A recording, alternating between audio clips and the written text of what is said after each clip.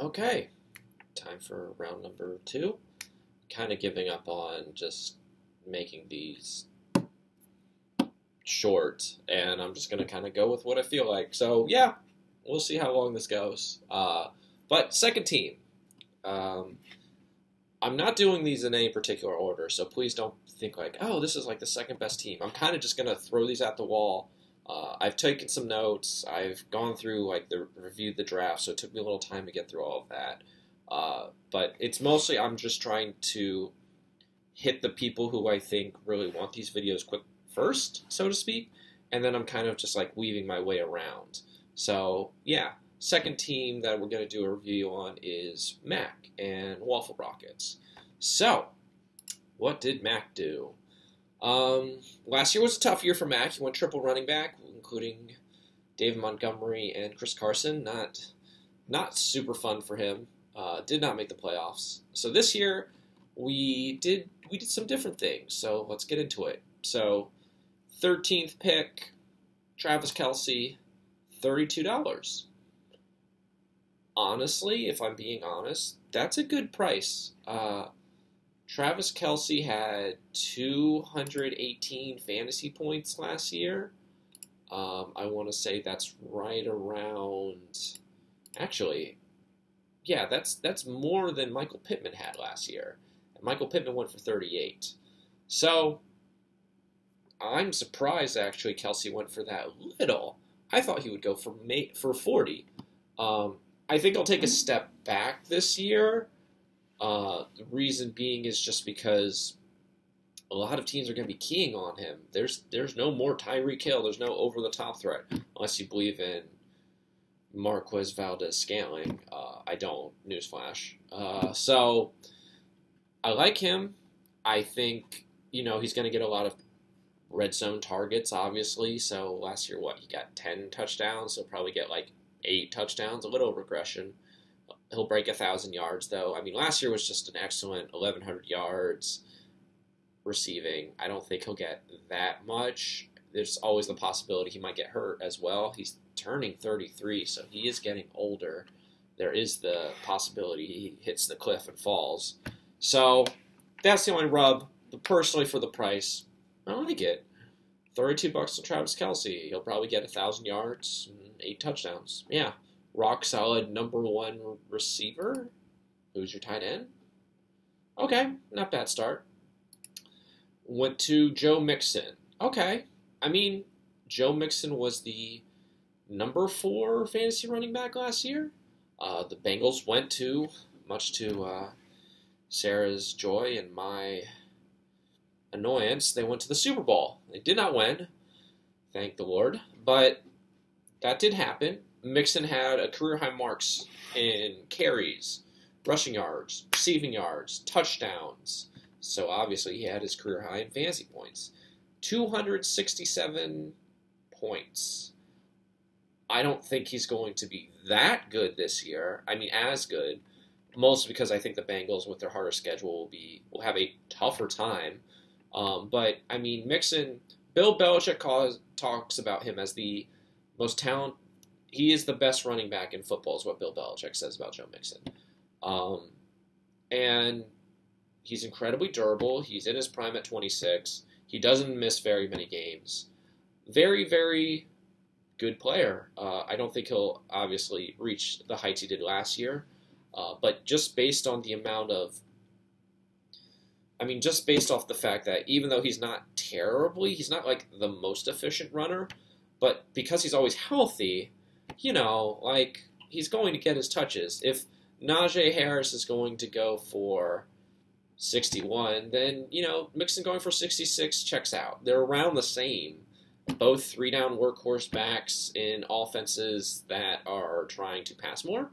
Um, but I think he'll get 1,100 yards rushing, another 250 receiving, rock solid number number one running back. So two rock solid players. Um, yeah, he's probably going to get around the 40 some odd receptions. He had 42, 42 last year. So, okay, so far, you know, I like the value. We've spent a lot of money, but, you know, very, very solid picks. I like Travis Kelce. I like Joe Mixon. Um, then we kind of go a little bit a little off the rails. We go for Josh Jacobs at 26. Now, I'm going to talk a lot about this pick. When the pick was occurring, I was like, boy, that is a lot for Josh Jacobs. I'm not sure about that. That seems like too much. Uh, but, you know, I like to do research, I like to dig into things. And I will give you this. Uh, in Josh McDaniel offenses, when you have a number one running back, so like LeGarrette Blunt or Damien Harris last year, or I mean, there was the Dion Lewis year or the James White year. If the if you get the right back, if you get the right back, more often than not, they become a top 15 running back. So, to your credit, Josh Jacobs is in the Josh McDaniels offense. Um, I think it's going to be a committee, so I don't think he'll be as good as last year. But I mean, running back's hard. I think he'll get his 800 yards rushing. I think he'll get 250 yards receiving. Uh, he won't get as many touches as he got last year. I think what he got like 217. He missed a couple games. Um, but with Kenyan Drake gone, we're talking like Zamir White, um, Ameer Abdullah, Brandon Bolden's there now. Weird whatever, plays special teams, maybe gets third down work. I think the worry for Jacobs is you're worried about if McDaniels doesn't use him as a workhorse because really what's been elevating him the last couple of years under Jon Gruden was he was just always on the field. He touched the ball so much. Now, I mean, even with Kenyan Drake, he was touching the ball a lot. But I think you're going to be in for some touchdown regression upon further review, it's not what I as bad as I thought it was when it was happening in the draft. When I was happening in the draft, I'm like, man, that is, is a clear overpay on a player that I don't want.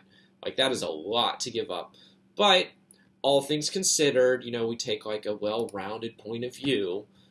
It's it's a good it's a quality price for for a player. I mean, there were better deals. I mean, Miles Sanders, Antonio Gibson, Cordarrelle Patterson, um, I think you you jump the gun a little bit, especially like you know I'd rather have like Elijah Mitchell who went for like two bucks more.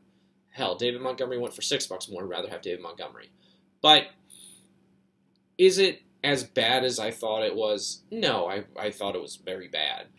It's not as bad. He's just stuck in a committee. He won't get the ball as much, which lowers his upside. But you know, very safe pick. He'll get his touches. He'll get touchdowns. I don't think he's going to get nine. Again, I think he'll probably get like seven. But you know, he's he's a number two running back.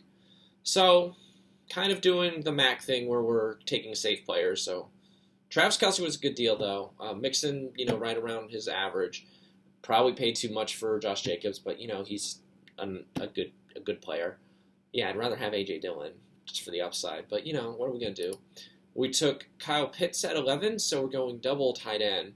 This is where I imagine, Brian, if you're watching this, don't tell me that three tight ends is not a viable strategy. This is why I wanted to do and turn one of the other spots to wide receiver tight end because it's becoming very prevalent to me that teams are trying to use double tight end, and there's the possibility that someone gets three very good tight ends.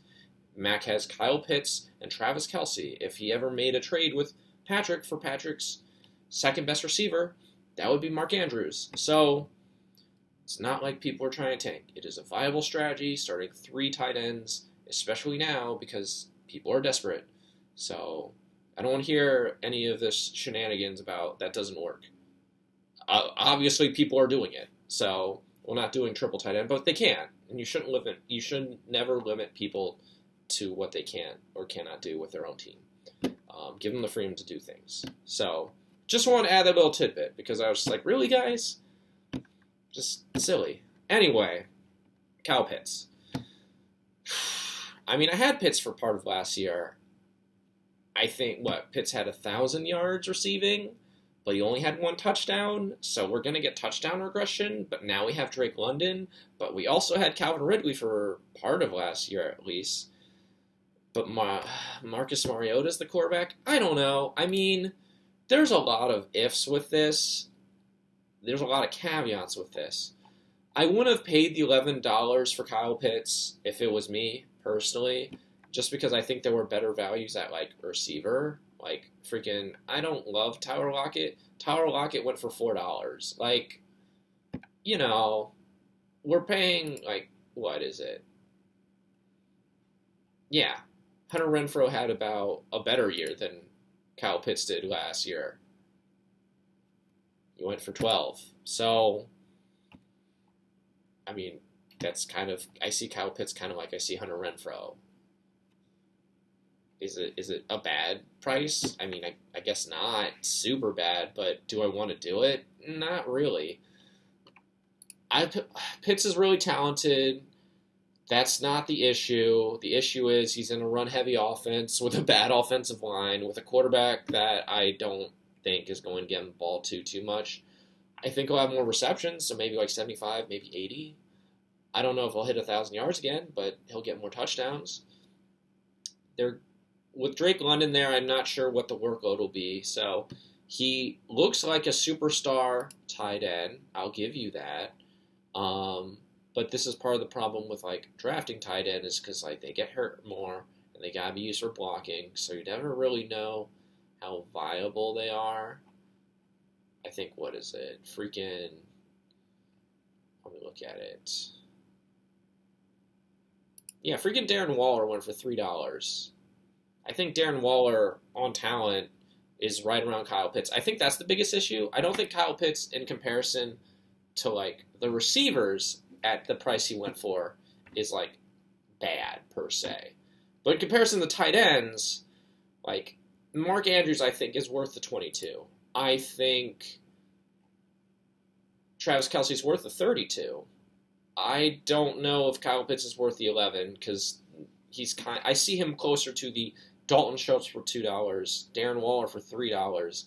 Then I see him to the Mark Andrews for twenty-two, Travis Kelsey, Kelce for thirty-two. That's just it's it's a lot for a tight end that I'm now basically forced to start. So, is he good? Yeah. Do I trust the offense? No.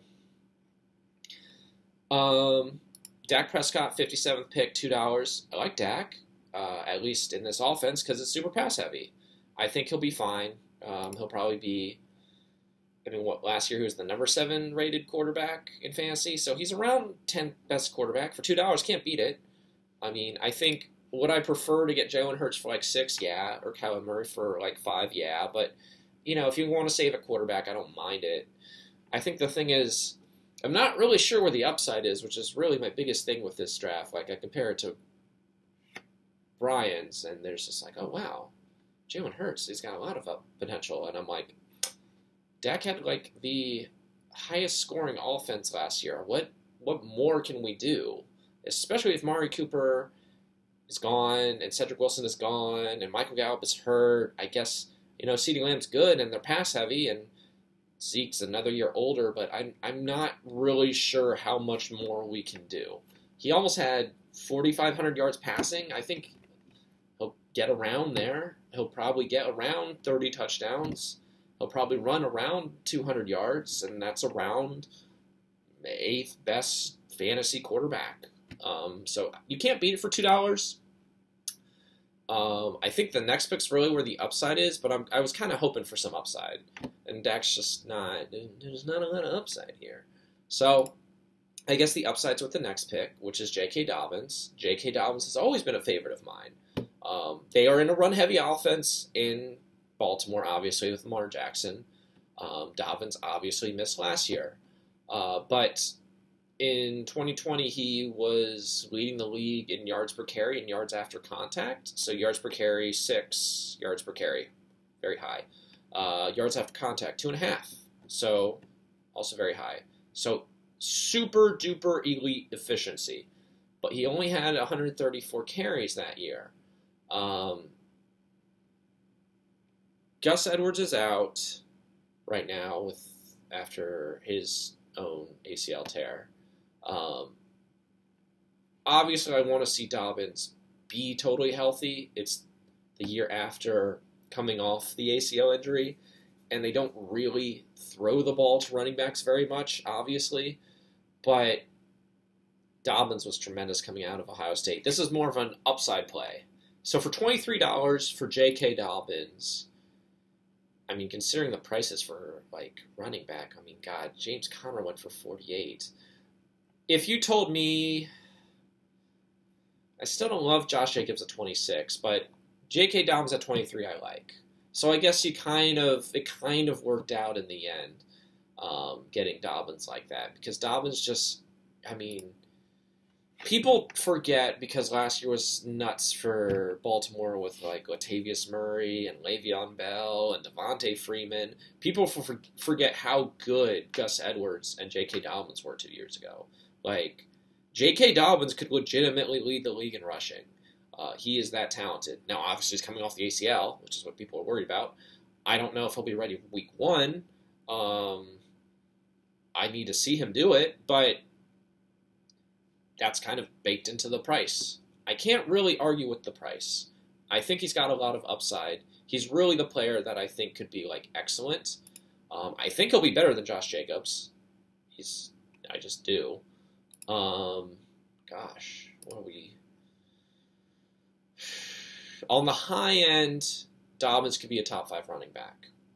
On the low end, with the injuries and everything, he could be nothing, obviously. So I think if we're talking in the middle, he's a top 20 running back, which is for 23 bucks, that's a great price. So I like it. I'm going to go more towards the high end because I like him so much. 1,000 yards, another 250 uh, receiving, 10 touchdowns. Put on the board. I like him a lot. So then pick 113. Oh no. Pick. Ah, pick 78, Elijah Moore, 10 bucks. There you go. So like Elijah Moore. Uh, like Elijah Moore a lot more than I like Kyle Pitts. So here's a funny, funny. We'll go to story time. So, story time with Dylan. So, I like rookie running backs. Another secret I will give to all of you for something to keep in mind, which is why I like Justin's team so much, is I like second year wide receivers, wide receiver breakouts in second year. What does that mean? Well, Justin Jefferson had a very good rookie year. Justin Jefferson was basically the second best receiver last year in his second year.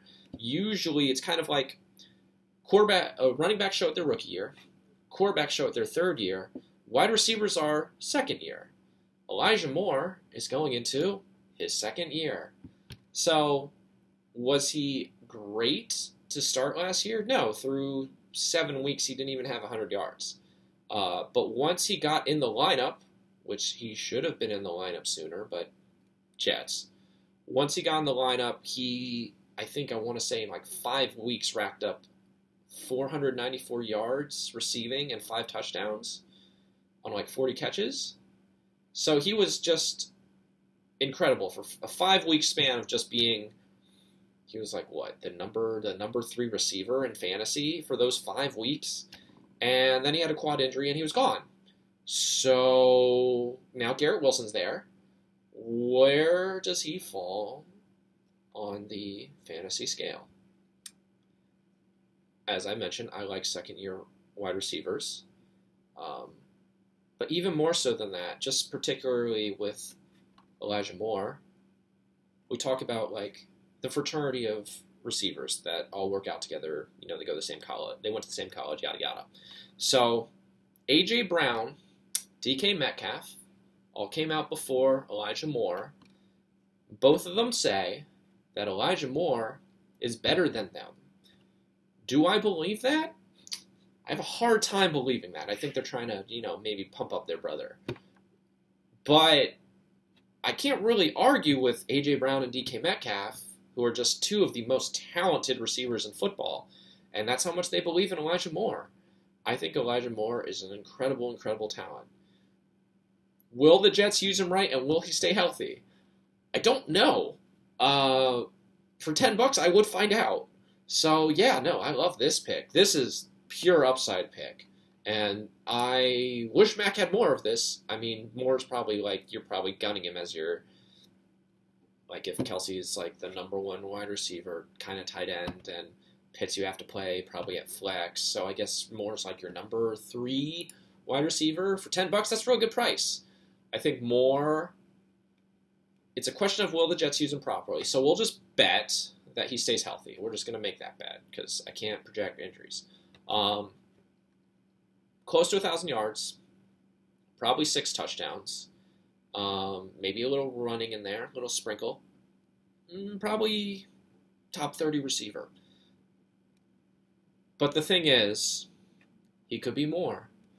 He could be a number one bona fide receiver. We just don't know. We saw it for five weeks. He was excellent. He was incredible. He ran. He runs routes with such precision, and he reads coverage so well.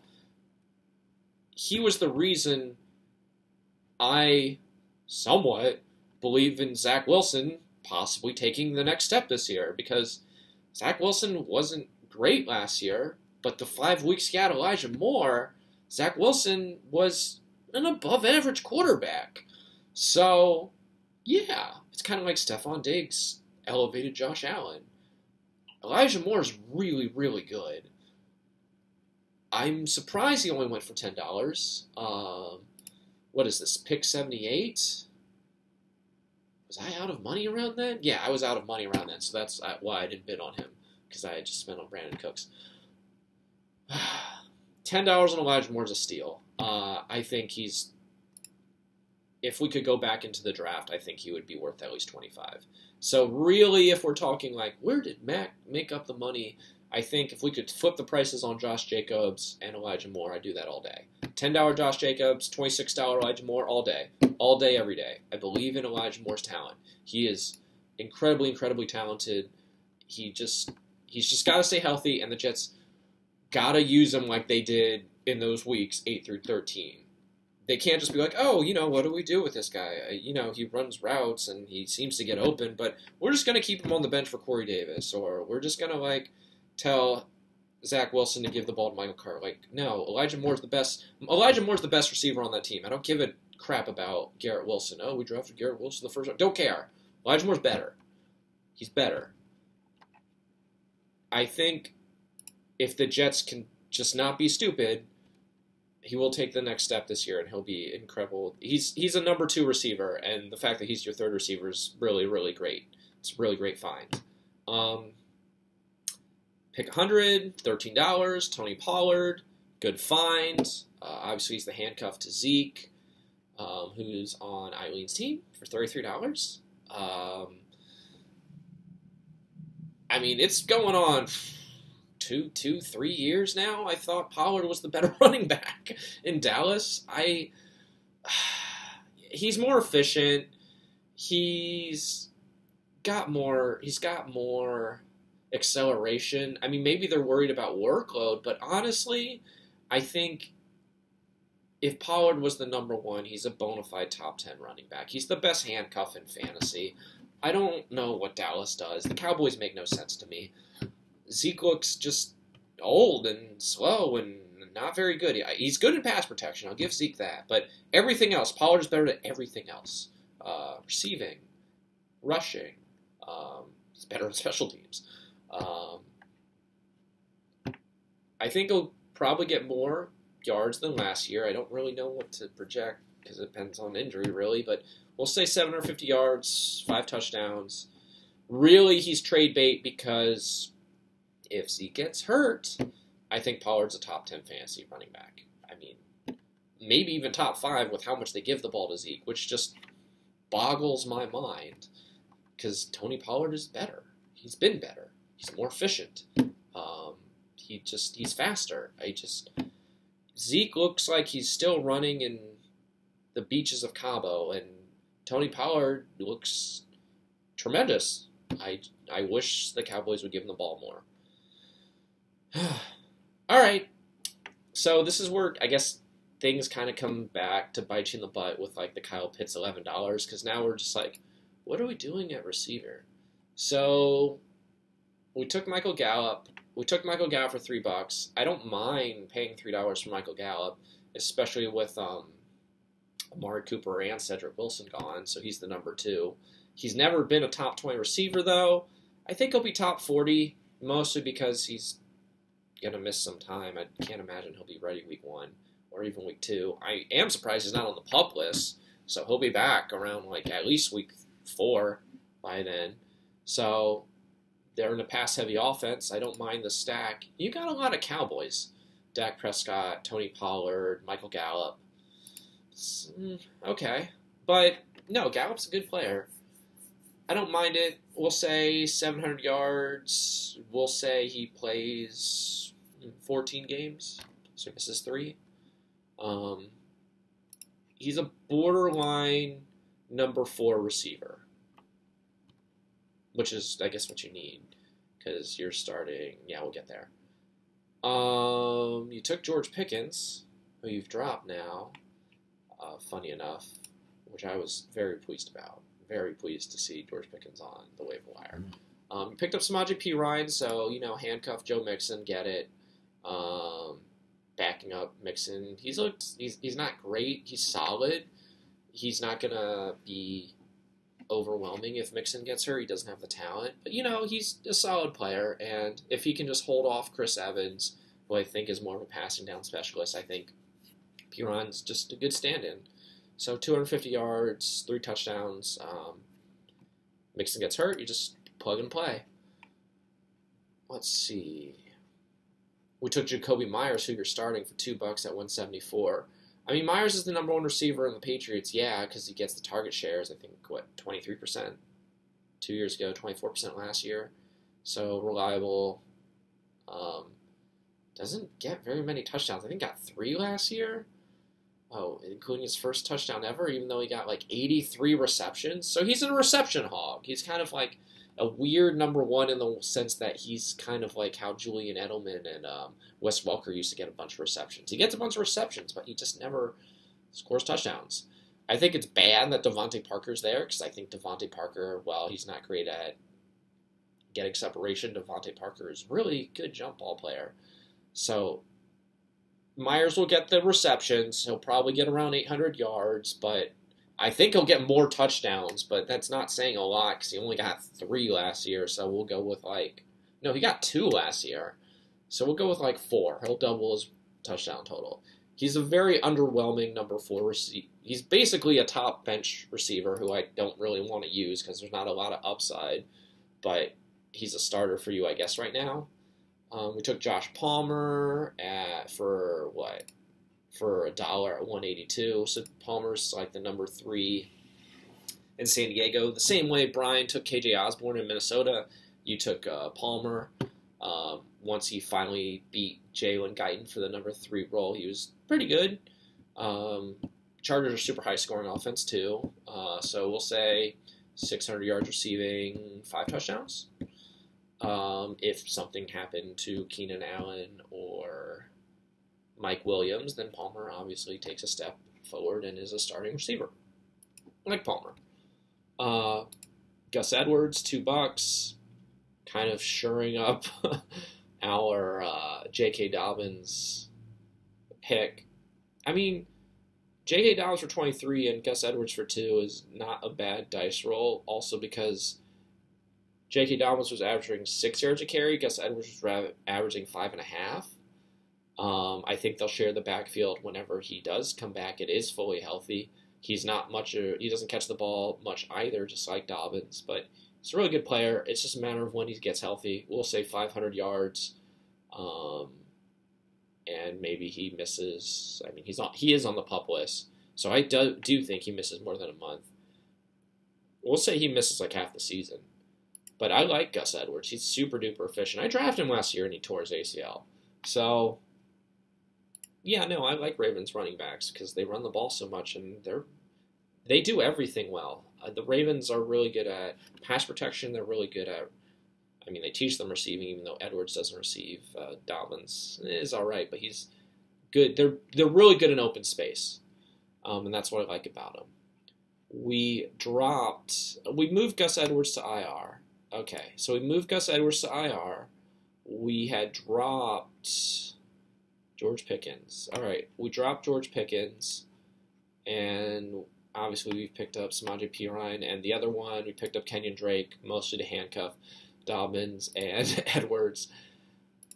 A lot of Baltimore running backs. Uh, funny enough, Drake was the backup to Josh Jacobs, and now he's in Baltimore. I mean, he's a long shot to be fantasy relevant, but if Dobbins misses week one and with Edwards on IR, maybe he'll do something with Mike Davis. Um, he didn't look great last year. I think he only had like 250 yards rushing and 291 receiving. It was mostly the Josh Jacobs show. Um, but, you know, Drake still has the speed. He doesn't have the acceleration, but he has the long speed. I remember when he was at Miami. I'm surprised he didn't go to a better situation. I'm surprised other teams weren't looking for a running back, if I'm being completely honest. Um, overall, I guess we're getting off topic. The people with upside on this team are Elijah Moore and J.K. Dobbins. So I think the team's solid. I think he had a good draft. I would have liked more upside. I think he really kind of I really wish that we didn't spend so much money on Josh Jacobs. I really wish that we didn't spend so much money on Kyle Pitts since people undervalue tight end anyway. Um, you probably you could have gotten a relatively around the same price kind of receiver for less than eleven dollars. Uh, if we're being on, yeah, Adam Thielen went for like eight bucks. Like Hunter Renfrow went for 12. Rashod Bateman went for 17. DK Metcalf went for 13. Like there's there were deals. So I think the team is just uh, there's not as much upside as Brian. I think the team is more solid than good. But I don't I think this is one of your better drafts per se, just because like you didn't like overreact to anything. You didn't try and like you didn't try and stick to your guns of being super safe and conservative with drafting. I think it would behoove you to draft more like Justin and Brian um, and take some more chances. I love the Elijah Moore pick. You don't have to take, again, it's about finding what works for you, but I think the team is good. It's going to need some work if you're going to get past some of the key players in the league, though. It's a very safe team, which, to be fair, I mean, you didn't make the playoffs last year, so I get it. I think this team is better. Um, yeah, we'll give you like a B minus. You're like right in the middle. There's a lot of good teams. You're in the middle tier of good teams. Um, but yeah, I just wish we had some more upside play because, I mean, how much better can Dak Prescott be? I don't. I don't think he can be much better. How much better can Joe Mixon be? I don't think he can be much better. How much better can Josh Jacobs be? I don't think he can be much better. How much better can Jakobi Meyers be? I don't think he can be much better. How much better can Travis Kelce be? Even though I like the price, I don't think he can be much better. So it's kind of like, you know, I'd love some upside. I'd love just like, oh, he could be better because he could do X. But really, it's kind of just like all of these guys are coming off like very, I wouldn't say very good seasons, but coming off like very high seasons for them.